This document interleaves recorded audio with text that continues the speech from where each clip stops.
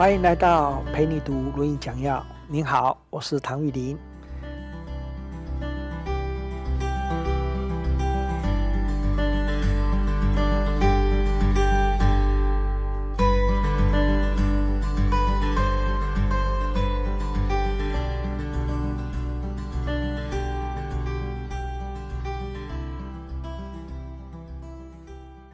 我们来看看八义篇的第十章。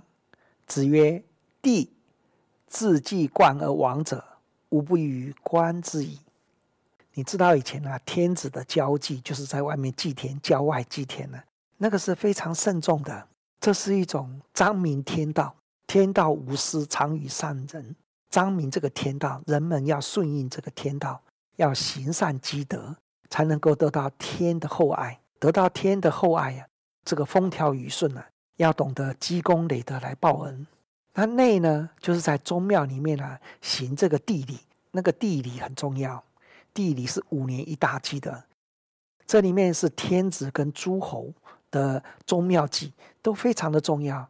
就是报本还恩，呃，祖德流芳，纪念祖宗的恩德。没有祖先哪有你？没有祖先开的这个机运江山，哪有你这种荣华富贵？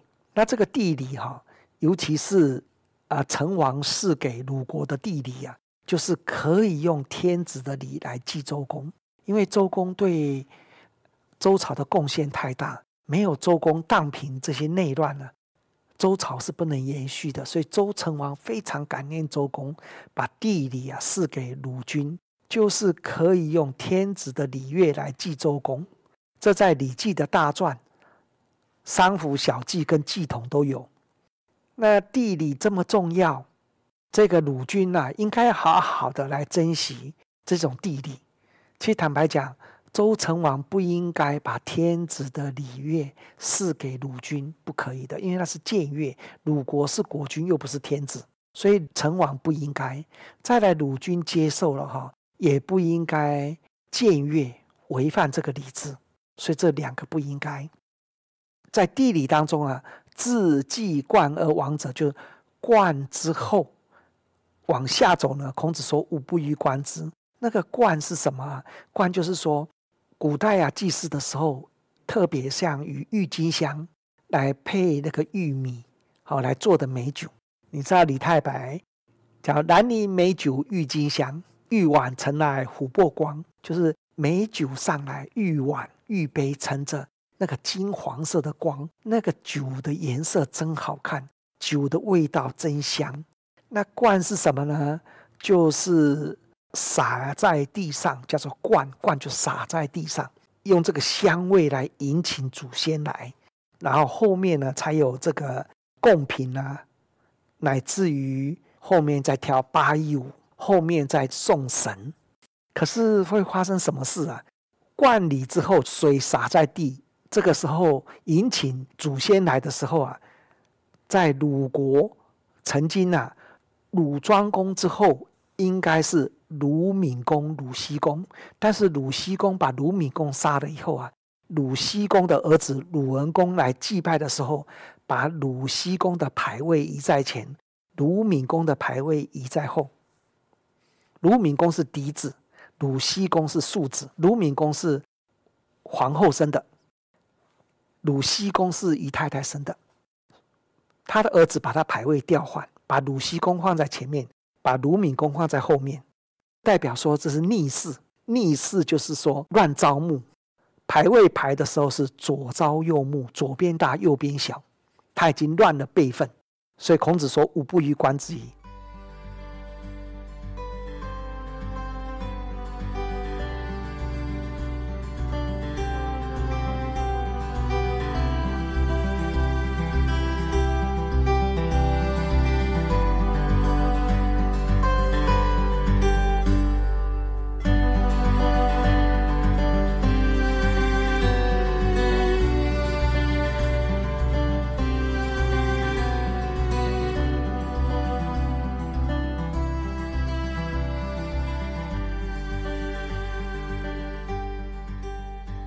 第二种讲法是什么呢？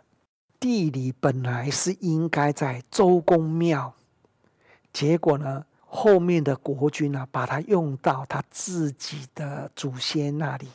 换句话说，自己的周公那里跳八佾舞，自己的祖先呢也跳八佾舞，这个就不对了。那冠礼之后迎神，后面上这个酒肉，再跳这个义舞都不对哈。那尤其用天子的礼仪啊来祭拜这个祖先啊，是大大的不对。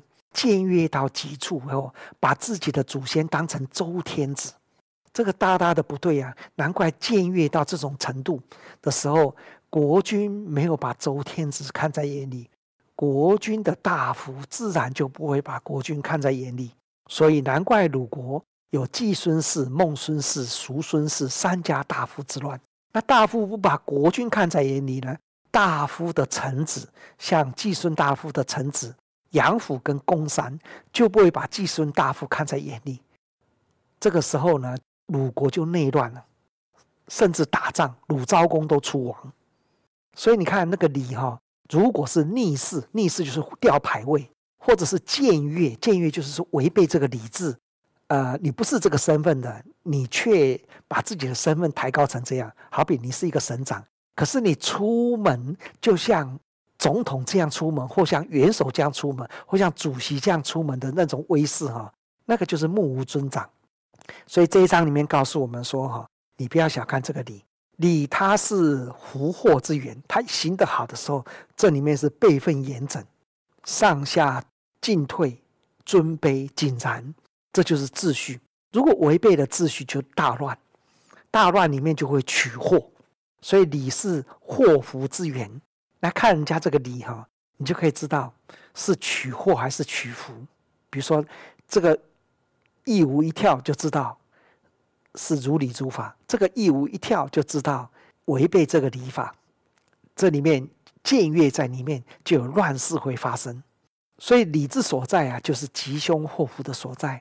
难怪孔子要学礼、讲礼、习礼、言礼。因为那是维持自己的身份，维持自己的内涵，弘扬这个道统，也知道人跟人之间的进退的分寸，也能够观人，也能够经营风气。所以这一章后面跟下一章来对，你才知道，懂得这个理啊，治理天下犹如反掌折枝。所以读书、做学问、做人处事啊，要掌握核心的部分。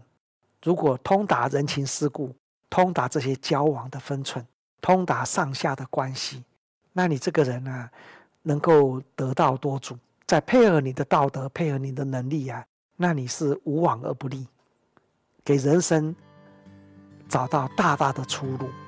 好，谢谢大家收听这一章，欢迎继续收听下集。